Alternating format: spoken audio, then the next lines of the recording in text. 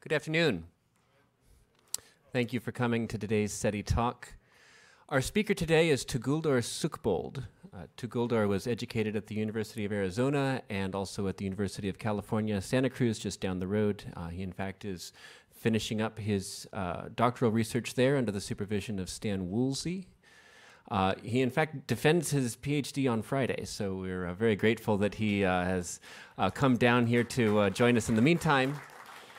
And uh, hopefully, this will be more of a decompressing activity than you know an extra stress for the week. Um, uh, Tuguldur, uh, after he finishes up uh, here at uh, Santa Cruz, will be going on to a postdoc at Ohio State University. So we uh, look forward to continuing to see great things from him. Uh, his topic today is ev evolution and explosion of massive stars. So let's welcome to Tuguldur Sukhbold.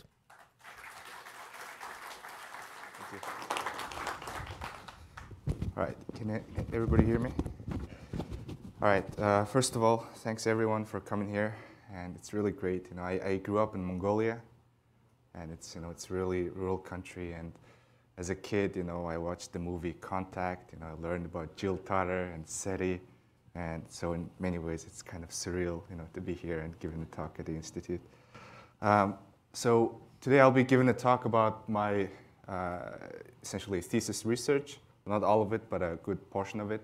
It's on the investigating the all kinds of uh, aspects of the evolution and explosion of massive stars. As said, Stan Woosley is a, a, professor at the University of California, Santa Cruz. He's my advisor. And this, a lot of this work was also done in collaboration with all these great people, including uh, Dr. Justin Brown, who was, uh, oh, oh, sorry, I guess this is the laser.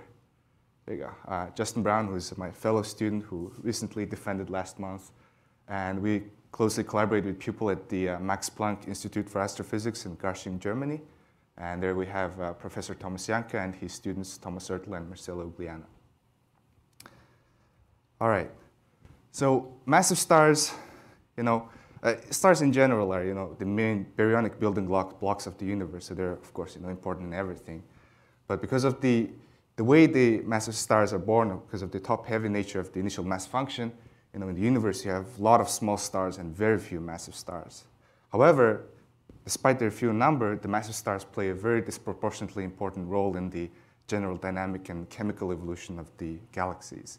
And therefore, you know, influencing galaxies, they influence the universe as a whole too. And just to mention a few of its amazing effects is the ionizing radiation. They create the heavy elements, and as Carl Sagan said, you know, we're all sitting in this room in some ways thanks to massive stars and they explode as supernovae, and when they explode, they stir up the interstellar medium in the galaxies. And then when they leave, they often, uh, uh, I mean, when they die, they often leave these uh, exotic remnants, such as neutron stars and black holes. So studying and understanding them is a really important deal in astrophysics. However, despite their, you know, they're playing a crucial role in all kinds of astrophysical contexts, over you know, half a century worth of effort still is not quite there yet to fully understand how these guys are evolving and how these guys are dying. And uh, there are a lot of problems, and if I had to say like three big problems is these three things. So when the stars evolve, there's a lot of these uncertain pieces of physics that we still don't understand. So one of them is convective mixing, is when you know there's a convective episode going on in the sun. How the material mixes, on, especially on the borders of the convective zones, is very uh, not well understood. And there's mass loss, you know, stars lose lots of mass, especially massive stars lose lots of mass as it evolves through its life. And that's also very badly understood. And finally, the explosion mechanism. That's like still is kind of an open problem. And just to give you an idea, the, you know, when I say massive stars, like what kind of stars do I exactly mean? Um, in terms of the lowest end, uh, the massive stars need to be massive enough to explode as supernovae, okay? So that mass is roughly, today is believed to be around eight solar masses. So around eight solar masses, every star above it essentially explodes as supernovae. Stars below, they die as AGB stars embedded, you know, I mean, uh, they evolve as AGB stars and they die as white dwarfs embedded in uh, planetary nebulae. And as you go up in mass, how big can massive star be? And that's, uh, again, another open question. It's uh, really fascinating. Uh, you know, it can go up, like the theoretical models in today's understanding of astrophysics would say like, you know, you can go up to 120 times the mass of the sun. but there are some observational evidence that there may be stars as big as 300 solar masses. So like the star cluster here in the Large Magellanic Cloud you know, has one of the largest stars uh, known to human, uh, known to us right now, and, uh, and some of them are truly big. So there's there definitely discrepancy there, and depend the. It's not just the mass in the current epoch where we have the solar metallicity. If you go back into uh, early universe when there was less metals, the stars couldn't lose a lot of mass and they could have been way, way bigger. Like they could have been many thousand times the mass of the sun. So those guys, in general, these very big stars are very exotic. They're very rare. And I just want to make sure that my talk is focused on mostly, uh, you know, platonic, like regular stars, okay, from 8 to 100 solar mass. I don't deal with anything, the crazy exotic stars. All right. And a lot of my uh, research is focused on this newly emerging idea called uh, islands of explosions. Okay, so to illustrate that, here I'm plotting the essentially just one axis of initial mass. Okay, and here I have eight solar mass. That's the smallest mass that can explode as a supernova. And there was a, for a long time there was this conventional notion that you know the difficulty of explosion scales with initial mass. So at eight solar mass, this is your easiest start to explode. But as you go up in mass, high in mass, initial mass essentially the difficulty gets more and more, and eventually you reach a point around 20 solar mass where above you can't really explode any stars. They just, the, the thing becomes too difficult to explode. So they, for a long time, they thought, okay, these stars explode and create neutron stars, and all the heavier stars, they don't explode. Instead, they implode and create massive black holes. Okay, but the newly emerging picture uh, in the past few years more actively is that maybe the reality is not that simple, but it's maybe it's more like this. So instead of having just one mass, like separating explosion from implosions, you have, I mean, uh, for the lightest end is usually, they all almost always explode. But if you go, as you go up to closer to the 20, there are a lot of these islands and there are gaps. And the stars very close to each other initial mass, they can sometimes can have very different fates. And not just that, as you go up in mass, way above 20, there might be other islands of explosions. So even these bigger stars, when we thought never would explode, they might actually you know, uh, end up exploding. So, and this is, has important consequences because you know, as the star explodes, explodes, that's the only way it uh, sheds back its chemically enriched material back into the interstellar medium. So if all the stars, stars, if the stars never exploded, you know, again, we wouldn't be here. All right, so to, my research is really then focused on understanding why this has this kind of structure, why this is non-monotonic. You know, why the explosions are not just why it's not like simple like this. And not just we try to explain this, we also take a step further and assume this is true. Then we investigate what kind of explosion results we would get from this scenario. And to really understand, I'm sorry, don't freak out. You know, I know it's a complicated graph, but you won't, just wait till you see the real one, which is much more complicated. so to understand this question, we really need to have some kind of intuition about how the stars evolve. So just to give you guys some help, I created this uh, toy diagram. It's what's called a Kippenhahn diagram. It's a convection plot. It shows the uh, structural evolution of a given star as a function of time, okay? So what you have on the y-axis is the center of the star. Here's the surface. And this is the time. So time is kind of plotted in a funny way. It's the log of the time until its death. Okay, so the stars die around here. They're born here. So when it dies, you know, this is the last day of its life, this is last month, this is last year, etc. Okay? So it's the log of the time until its death. And these shaded regions are the convective regions, okay? And different elements are, the main fuels are burning in these regions. So basically when the star is born, you know, it burns hydrogen like our sun, okay? The massive stars also burn hydrogen. And that's where it spends most of its life. So it spends like tens of millions of years burning just hydrogen. The structure is rather simple. You have a convective hydrogen core, just burning, burning, and the convection replenishes the fuel. And you have a radiative region, and there's the surface of the star. But, but this is kind of plotted in a mass. Don't think of it in a radius. It's kind of Lagrangian coordinate. And then once it finishes hydrogen in the core, uh, the core shrinks to ignite the next fuel, which is helium. But as the core shrinks, the hydrogen ignites in the shell region. Okay? So once hydrogen ignites in the shell region, in the radius coordinate, it swells up the envelope. The envelope becomes very extended and the star becomes a red supergiant. But in the mass coordinate, a lot of mass loss happens during this phase. Okay, so during this phase, the uh, core helium burns in the core. And once the helium burning is finished, helium sh shell ignites.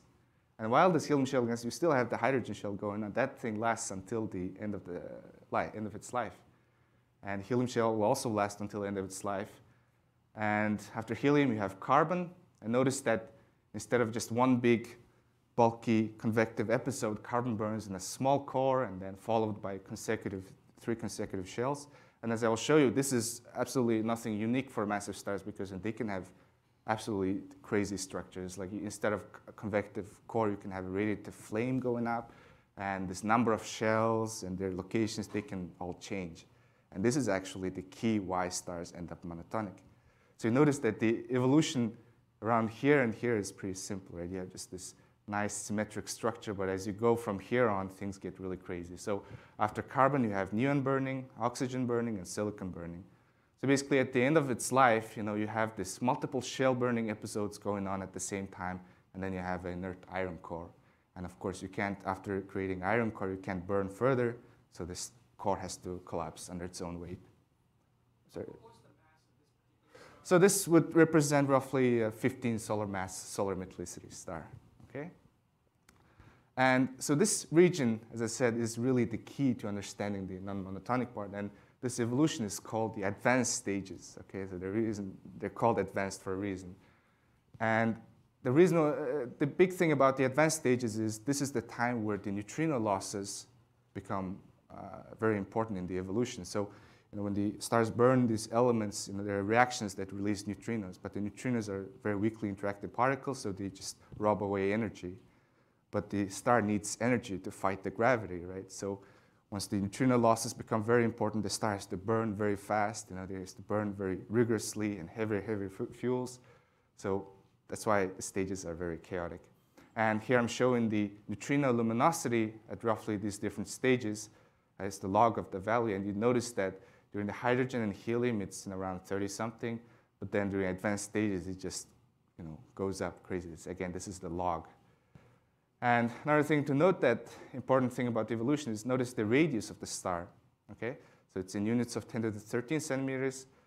And you notice that at the main sequence, it's a, a pretty small star. And then during the core helium burning, it becomes a red supergiant, so it swells up a lot, right? So from uh, you know, 10 to the 11, a few times 10 to the 11 centimeters, it swells up to 4 times 10 to the 13, so a factor of 100.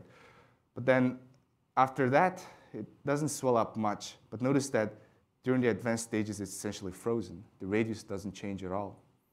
And this is a very important feature of the star because the reason why the radius and actually the temperature also doesn't change is because the envelope essentially is decoupled from the evolution of the core. So the core evolves very fast and the information of things changing in the core doesn't travel through the envelope. The Kelvin-Helmholtz time scale, the thermal time scale of the envelope is on the order of many thousand years. But you notice that the longest burning fuel in the advanced stages is, you know, burns in a time scale of 1,000 years. So basically, these things happen very quickly, but all the rest of the star just doesn't have time to adjust. Okay? All right, so the stars evolve in a similar fashion now, and then at this stage, it's called the pre-supernova stage. You have an iron core, and eventually it will collapse. And just give you a schematics of the collapse. So this is kind of a zoomed in version of this region of the star. So you have the iron core is collapsing in the silicon shell.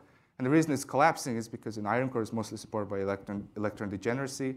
And as the uh, sh silicon shell burning dumps more iron into the iron core, the mass increases and essentially eventually exceeds the uh, Chandrasekhar mass and then starts to collapse. And here's a rundown of the central density during its collapse. Um, at the pre-supernova, the central density is on the order of 10 to the 10 grams per cc. It's super dense already. But then when it starts to collapse, it will become increase even more denser. And and it also collapses much more faster. And part of the reason is very, very interesting, this reaction. Whereas it starts to collapse, these free protons capture electrons and release neutrons and uh, electron neutrinos. Okay, so these are neutrinos. So what happens is there are two important effects that are affecting this collapse. So this reaction removes the electrons from the core. So electrons, they provide the degeneracy pressure. So they actually remove the pressure, so the collapse has to go faster. But also the neutrinos, you know, effectively escape to infinity. So they also rob the energy, so the collapse has to go very fast. Okay, and then eventually you reach the central density of 10 to the 12, and this reaction effectively stops because the neutrinos get trapped. But you know, the collapse becomes just very, very fast. So the speed of the collapse at the uh, innermost, the fastest region reaches quarter of the speed of light. And the whole thing just happens in a dynamical time scale on this density, which is like a fraction of a second. So the whole collapse happens in a 1.1 second, essentially. Okay?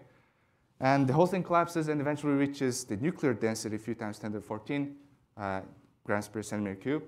And you know, there's going to be a big bounce. The whole collapse comes to a screeching halt. There will be a massive, uh, powerful sound wave will form at the center, and it'll start going out. Okay. And historically, for a long time, people thought that this sound wave that formed at the nuclear density is actually maybe what explodes the stars. They thought, okay, the star you know, runs out of fuel, collapses, and goes to nuclear density and bounces back, and maybe that's how stars explode. And that was the thought kind of in the earlier, in the last century. But then later times in the 1980s, people uh, realized that that's actually not the case. Uh, and what happens is when the shock tries to go out, there are two processes start to play. So the you know, shock bounced back. And as the shock tries to go out, there's this accretion going on from the, all the external uh, outside matters of shell. And the two processes are the photodissociation and neutrino losses. Essentially, uh, this reaction starts to play back roll again and starts robbing energy from the shock, and the shock has to stall.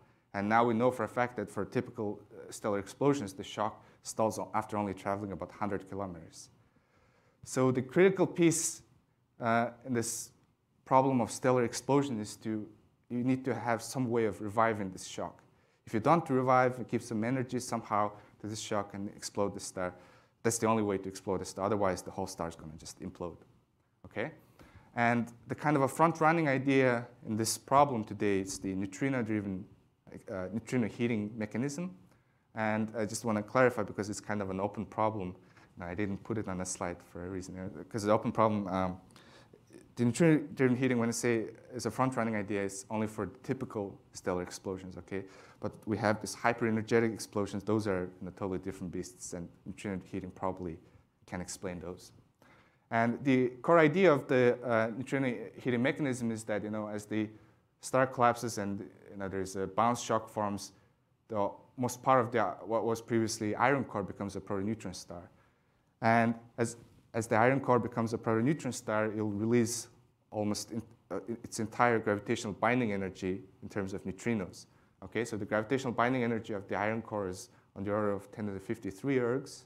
It's a lot of energy and it's almost exclusively comes out neutrinos. But when you observe supernovae, the typical energies are on the order of 10 to the 51 ergs. Okay, so this neutrino heating mechanism really asks the, you know, the nature to give just 1% of its energy budget and that will explode the star. So the idea is that you know, as the protoneutron star you know, cools and contracts and emits the neutrinos, uh, the, only uh, some fraction will get coupled with the matter behind the shock, and then it will just give just enough energy to drive the shock outward and uh, make the explosion happen. All right, so there's stars not just only evolve in structure, the important thing is they you know, evolve the composition. And uh, there are a lot of, in general, it's uh, the reactions that can take place inside a star are like extremely complicated, especially like during the advanced stages. But here's kind of a general rundown of what kind of fuels are burning and creating what, okay? So here I have the fuel uh, and then main ashes, the central temperature roughly when this happens, and then the main reactions. Okay, so uh, I think I shouldn't really spend uh, too much time on this. Okay, so basically, you know, uh, hydrogen burns into helium, helium burns into carbon oxygen. As you go up uh, higher masses, you know, there are more exotic reactions, and these are just primary reactions. Bes beside these, there are a bunch of secondary reactions. So it's just very complicated, okay? And uh, beside the pre-supernova nucleosynthesis, when the star dies, there's also explosive nucleosynthesis. So when the star dies, the shock wave gets propagated outwards. And then when the shock wave hits the ejected material to four and a half, four, four to five billion kelvins, then the silicon in the ejector will burn explosively, and two to four kelvins, then the neon carbon will burn explosively, etc. And there, during the explosions, there are neutrino process, P process, I mean gamma process, there are all kinds of different processes that can essentially enrich the uh, possibilities of the nucleosynthesis. All right, and finally, uh, light curves. So these stars explode and they create this fascinating fireworks. Uh, they have been kind of mainstays of supernova research for a long time. And generally, uh, you know, because of the different configurations, you can have different progenitors, you know, different uh, composition, mass of the progenitor, in different environments. The diversity is like extremely rich. And they're powered by different, all, all kinds of different uh, energy sources. But the most important energy source that exists in all of the uh, supernova explosions that powers the light curve, but uh, is essentially the radioactivity. But it exists in all of, uh, essentially all of the explosions, but it's not the dominant one for all of them, okay? And the main player in radioactivity is the decay of nickel-56. It's created during the explosive silicon burning during the explosion. And it decays into cobalt-56 in 6.1 days, which decays into iron-56 in 77.3 days. These are half-lives. And so this is the kind of main, uh, one of the main sources. But then beside this, you can have all kinds of secondary sources like the uh, collision. If you have a lot of matter outside the stellar explosion, you can have uh, collisions uh, powering the ejecta. And also the, um, the compact remnants, the neutron stars and black holes can also inject energy into ejecta. And you can have uh, recombination of ionized matter. So you know, there are all kinds of possibilities. Uh, but the, the two important types that are relevant for my research are these two uh, light, curve, light curves. Uh, light curve type 2p, p stands for plateau. So the, this is the light curve. You have a luminosity as a function of time. It has this sharp peak, and then it stays roughly constant for uh, about three months, and then it decays into a tail. And the plateau is really referring to this region where the luminosity stays constant for quite a long time. And so this uh, kind of, this is the, most common light curve, you can say that. This is, emerges from the, almost 80% of all the supernovae are, you know, explode as type 2p supernovae. And it has basically three segments. And this first segment is the, when the initial shock wave prop propagates and then breaks out from the surface of the star, okay? And this happens very quickly on the time scale of just a few dozen minutes, essentially. Then as the ejecta cools, expands and cools, and it comes down to temperature about 6,000 Kelvin or so. The hydrogen that was in the envelope of the progenitor star, uh, which was ionized by the shock, which then get recombined. And the recombination that travels kind of as a wave in mass inward, so it maintains this constant temperature for a long time. And once the photosphere essentially uh, uh, reaches at the bottom of the core of the ejecta, then the uh, plateau dies off, and then the luminosity sharply declines, and then this last part is solely powered by radioactivity. Okay? And the other important type is uh, type 1 BC. Uh, type 1 BCs are results of stars that are exploding. Uh, by the way, I just want to make sure that these stars are, these type 2Ps emerge exclusively from stars that have hydrogen envelopes, extended hydrogen envelopes. If you don't have this hydrogen envelope, you're not going to have this plateau. Instead, you'll get something like this, okay? So these are basically explosions of uh, naked helium and carbon oxygen cores. These stars would uh, result from like the very massive stars that lose all of its envelope during its evolution, and they just die as just bare helium or carbon oxygen cores. And the light curve is rather simple, you know, just rise up and die, and the time scale for the peak is roughly 20 days. And you could see that they're very different. All right, just want to say a quick mention of the main tool that we use in our study. It's called the Kepler code. Uh, it's written in, back in 1978. It's almost 40 years old and it's been used for this kind of research for a long time. Okay, so I just tried to list major papers and I eventually gave up. There's just so many. Uh, it's a one-dimensional implicit Lagrangian hydrodynamic code. Uh, it can uh, evolve the star, stellar evolution, including its mass loss, you know, convection, rotation, nucleosynthesis, and all the important pieces of physics.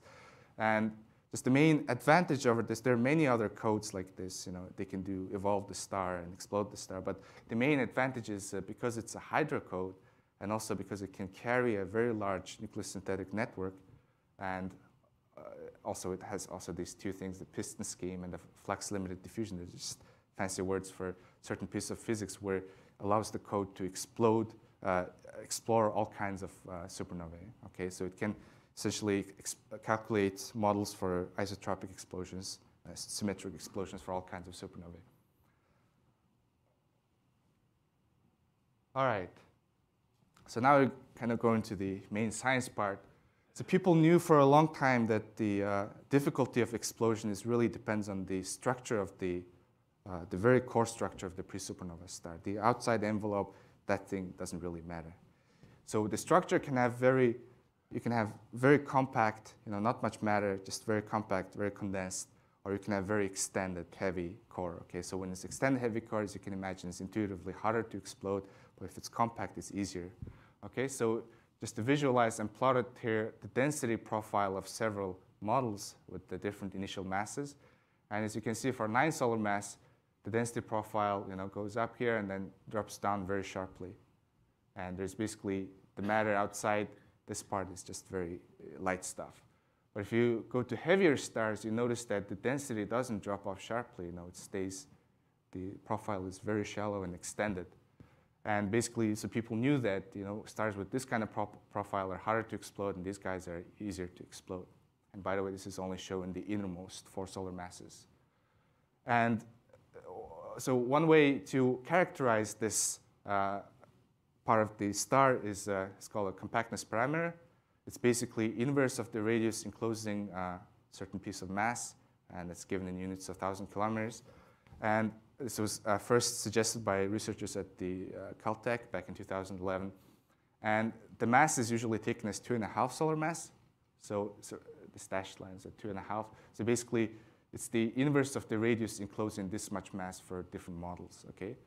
And we run many hundred models, uh, actually 200 models between 8 and 120 solar masses. And then when we calculate this parameter for each of them, and then when we plot the results are, looks like this. Okay, so that means, you know, like a lot of, whenever this parameter is high, that means the profile is extended, the star is harder to explode. Whenever the value is low, the profile is like this, you know, very you know, shallow, uh, sharp drop off, and they're easy to explode. But the key thing is, you know, notice that it, doesn't just monotonically increase. You know, the star just doesn't get become harder to explode as you go up in initial mass, but instead they're just up and downs. There are a bunch of you know, crazy, almost chaotically varying regions. And so people knew, kind of knew that this was the case. And you know, they ran a few models and they noticed that it's just not a simple straight line. But they didn't know, uh, didn't knew quite well like all the uh, fine details and the fine structures. There are like two very distinct bumps, and there's this chaotic region. These guys are being super, super low, and the very high masses are also become low again. So the, my quest for my PhD really started trying to explain this um, uh, graph, essentially, why exactly this thing is not monotonic. Okay, so to understand this, of course, we need to look at the real Kippenhahn diagram. Uh, a, so this is the real one of the previous uh, simple one I showed you before. So this is for a 15 solar mass star, and now it's showing uh, inner eight solar masses. Okay, so the star is actually extends way up. And also notice that for the time, uh, it doesn't show much of the main sequence. It's really focused on the advanced stages, and you can have a, you have the helium burning here. And what I'm going to show you now is I'm going to show the series of same plots, but I, am going to increase the mass of the star. Okay, and I want you to notice the certain uh, characteristics. And the reason why I'm doing this is just trying to convince you that the the evolution that you see experience in this part of the star is really what makes it uh, non-monotonic. So as, as I go up in mass, you'll notice that the hydrogen core will uh, go up, and after the hydrogen core, the helium core will go up because with bigger mass stars, you have just bigger cores. But as things go up with bigger mass, these things don't just like get bigger and bigger, and bigger. It just becomes very complicated. Uh, you see 18? So 18 and 15 are fairly similar, okay? But I go to 20, so notice that what's, oh, oh crap, sorry. So Notice what's happened here. So carbon was burning in this consecutive convective uh, episodes, but then at 20, you don't have a convective episode here. It burns as a radiative flame. And as you go up to 23, notice how things are changing. And 27, it becomes very different. Again, at 30, it's also very different. Sorry, I'm sweating a lot. Um, so the main, uh, so we really studied this kind of uh, details for nearly two years. And the main thing that we find is that basically the modulation of the convective shell episodes and the kind of the core burnings of different uh, fuels is essentially what's driving the uh, non-monotonic feature. And uh, just to give you on the time of the evolution, we studied how that non-monotonic is cr created as a, uh, as a function of time. Okay, so when the star is being born, you plot that uh, compactness parameter as a function of all those 200 uh, stars, you'll just see a flat line. There's no bumps and nothing. And actually stays flat until about this time in the evolution. And the reason is because the, all the evolution until this time in the core is you know, pretty simple, it's not degenerate. But as you start going to advanced stages, uh, during the carbon burning and oxygen, core oxygen burning, the first peak starts to form uh, for lighter stars. Okay, so you remember there are two peaks in the compactness parameter.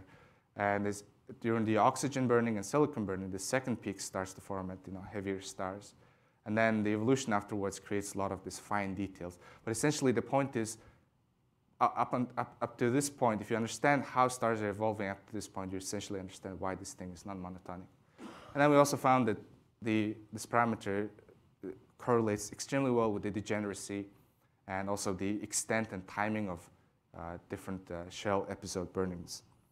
And uh, there, there, are a lot of uh, pieces that put together and explain the non-monotonicity, but to just give you a taste of what it's like, I'm gonna try to explain in simple terms why these two different peaks form, okay? So imagine uh, this is the kind of a same Kippenhahn diagram, but it's just you know, simple uh, drawings. So you have some, I'm not gonna specify, just some certain fuel burns in a shell, okay? You might have uh, another convective episode before or carbon flame before, and it doesn't matter. So one shell burns here, and then as it burns, it's gonna finish all the fuel, you know, in this region, right? And then once it's finished, the next shell appears. Uh, base is located at the extent of the previous one, and then burns here. And the next fuel, uh, in terms of weight, ignites in the core, right? But notice that the next fuel uh, doesn't start here. It's, it have to wait until there's enough mass of matter and then so that it can start to ignite and then do, do, its thing. But as you go in higher mass models, what's happens is you know this shell starts to migrate upwards, and this shell is slightly higher. This guy is everything slightly higher, but notice that this is not higher. So this shell is modulating this guy, basically creating a uh, you know, kind of this indirect effect where it basically having a way to control the size and the timing of this burning episode. And the reason it does is because during the advanced stages, stars are very degenerate. So the, the idea of uh, Chandrasekhar mass starts to have some approximate meaning. And basically, when the shell exceeds roughly 1.4 solar masses, you know, the star, uh, you know, the, the matter below the shell starts to ignite as an effectively smaller core. Okay. And as you go to ever, ever higher mass, shells keep on going up. But you notice that as it goes further up, its relevance becomes less and less. So the convective oxygen, uh, I'm sorry, not oxygen, the convective episode starts to grow again and starts to uh, ignite at, at a later time, not early. So you notice that there's this kind of a rising thing and then going down and then rising thing again. And this is important because the, extent of this core burning episode for the oxygen and silicon uh, correlates with the compactness very well. So if you understand how the sizes of these uh, convective regions change, you essentially understand how this non-monotonicity, non, non, is uh, coming about. So it turns out there are two different cases where this mechanism works in the massive star evolution. And one is when the carbon convective shell modulates the oxygen convective core burning. Okay, so notice that the base, so this is the location plotted as a function of different mass models. And as the shell goes out, it passes, uh, know, as the shell goes out, initially the oxygen core is just increasing in size, it's following. But then as the shell exceeds the Chandrasekhar limit, the core starts to recede doing this thing. And then eventually at some point, the, the shell just so way high, it doesn't really affect the core burning episode, so it starts to go up again. And the similar thing here happens again later, but for oxygen shell modulating a silicon burning core. Okay? And again, the, the oxygen shell, as it exceeds the 1.4 solar mass, the silicon core peaks in size and then declines and then goes up again. So this is how the two peaks in the compactness curve are essentially created at like uh, different mass ranges from 20 to 30 and from 30 to 65. All right, so it's just that, that was just uh, just to give you a taste of what's going on, uh, but the real you know, details are of course much more complicated.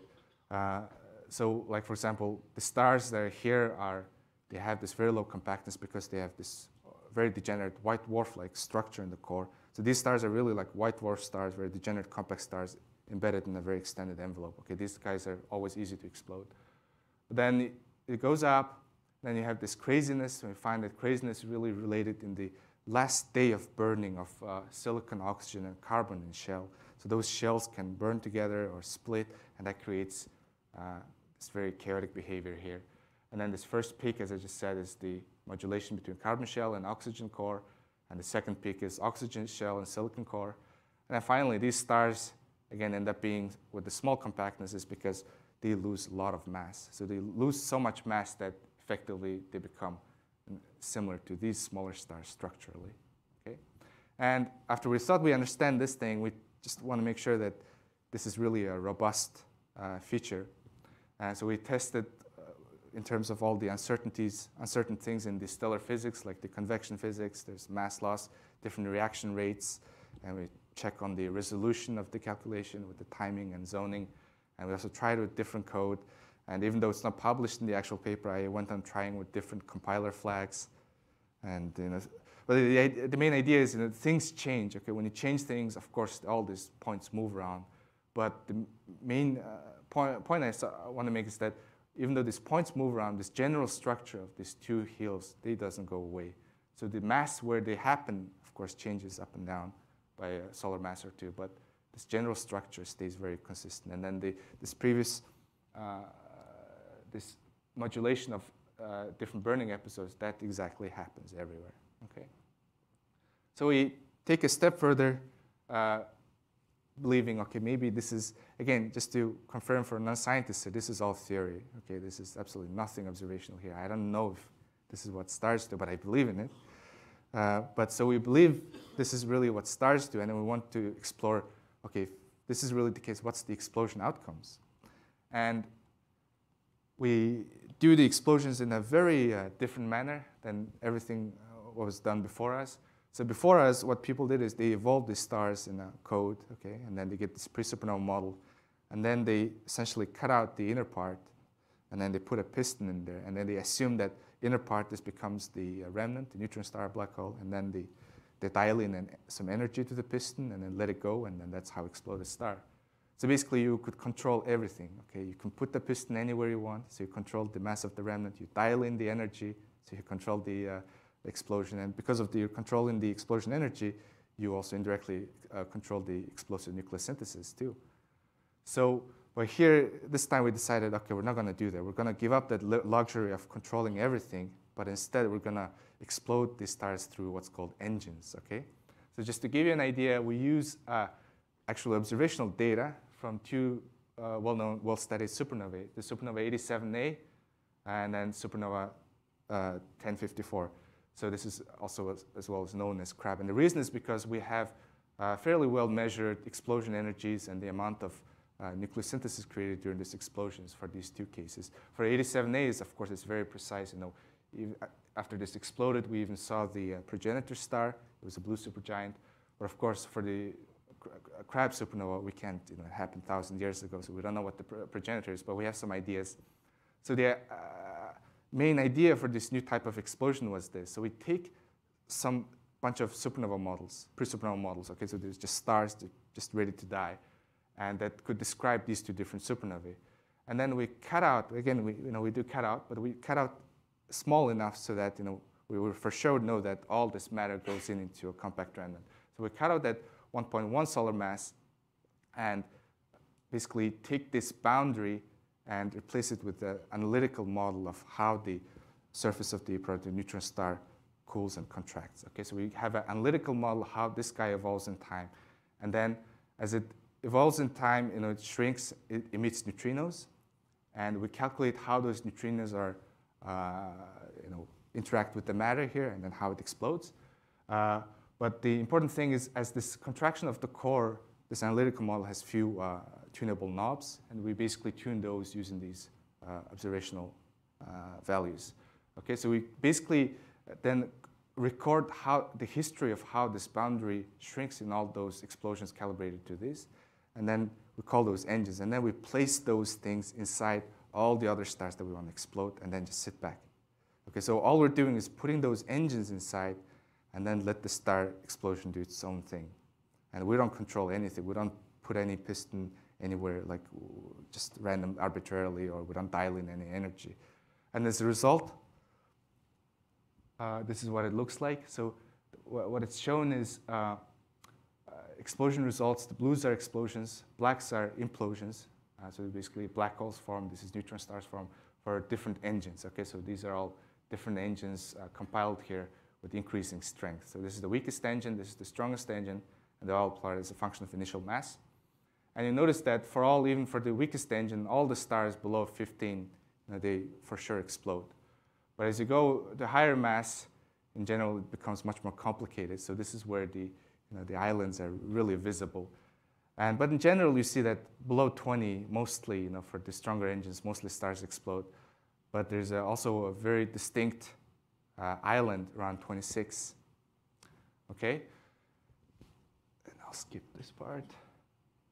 And also skip this part.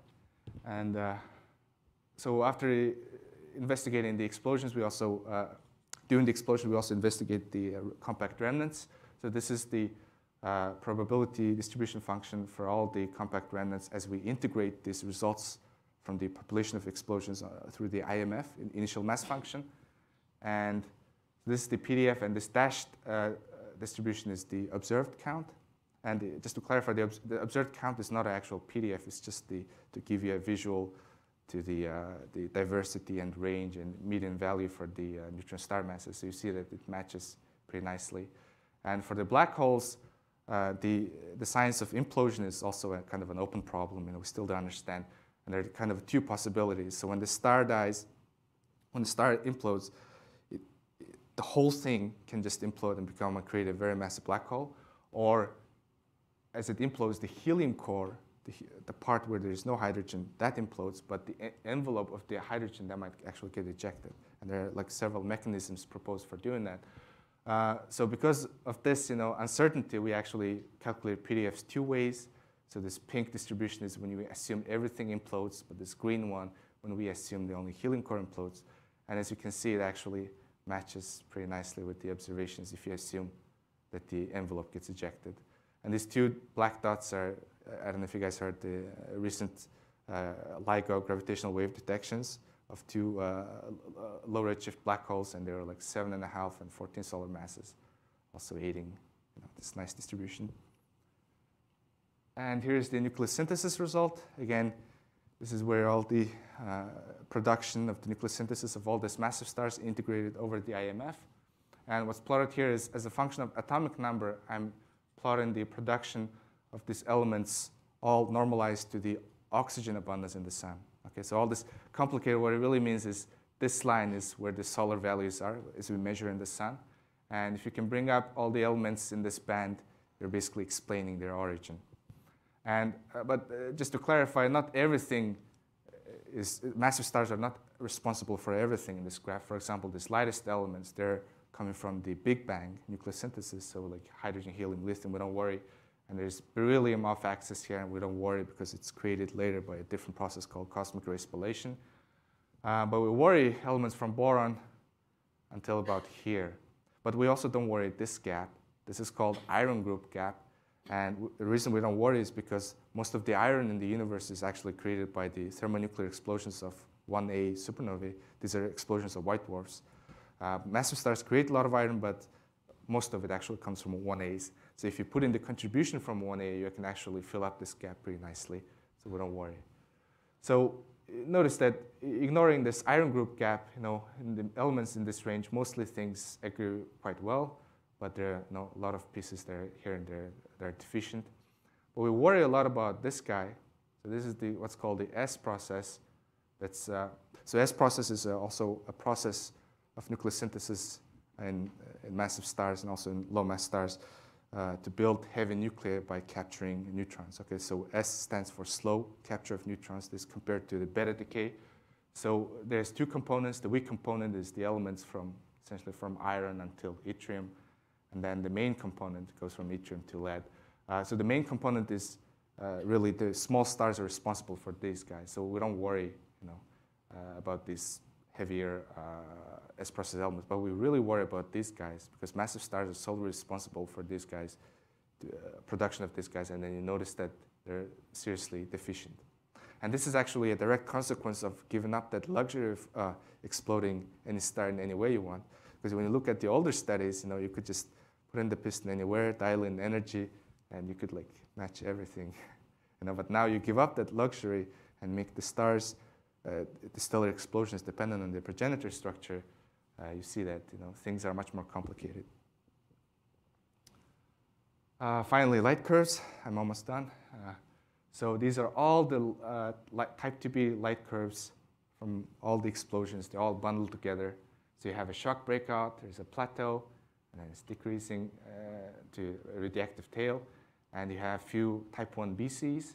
So all the biggest stars that lose a lot of mass, so they end up as type 1 BC if they manage to explode. So they just rise and decline. And all the stars that create type 2p were smaller than 30 solar mass, and all the stars above uh, 30 solar mass, they create 1 BC. And that's because all the stars below 30 solar mass had some or a good fraction of their hydrogen envelope retained and above 30 there was no hydrogen. And again, this 30 is not the magical number. It's all dependent on the assumptions of mass loss, which I said is very uncertain. So with different mass loss prescriptions, these numbers will be different.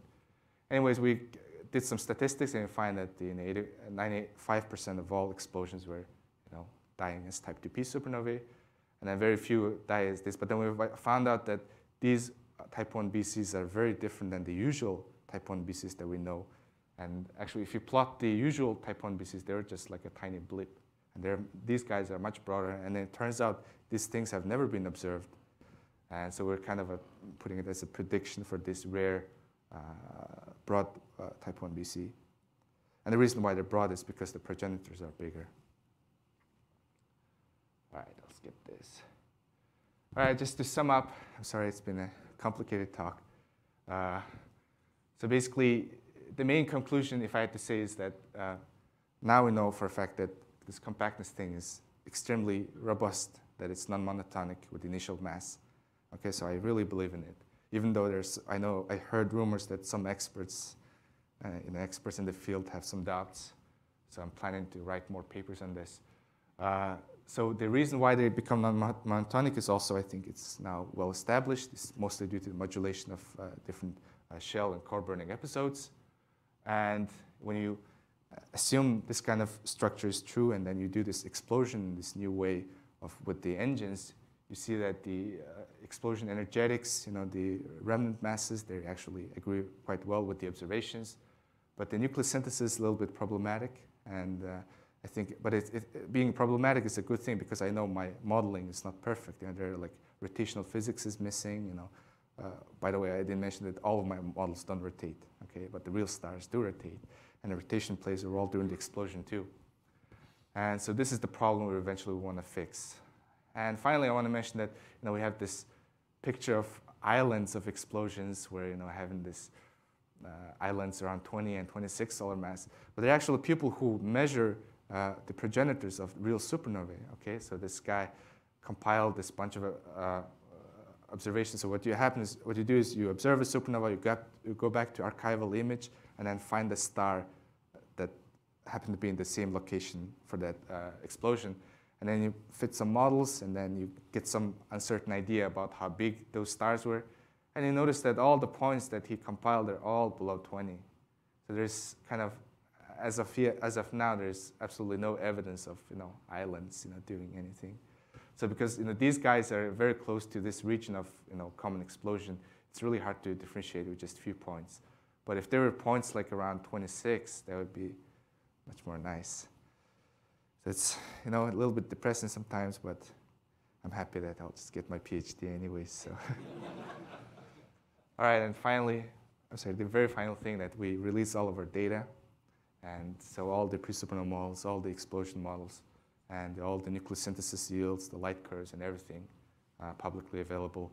And we have, as of now, like almost half a dozen researchers across the globe using our data for all kinds of interesting work. All right, thank you.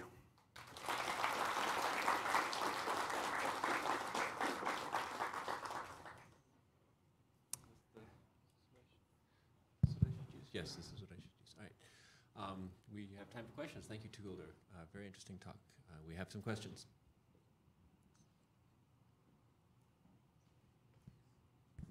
So you touched on this at the at the very end, but you the previous slide you said your model was one dimensional, Yeah, and so uh, in addition to spin, I'm wondering how what you know whether the effect of magnetic fields that are directional and convection within the uh, Yes. uh, outer parts of the star would play in the final shape of the remnant of the you know nebula. Mhm. And given that you're sort of reverse engineering the explosion from a model of existing nebulas, but you're not taking those into effect, I was wondering if you you think it's negligible, or you just want to do a 3D model soon, or what's the plan?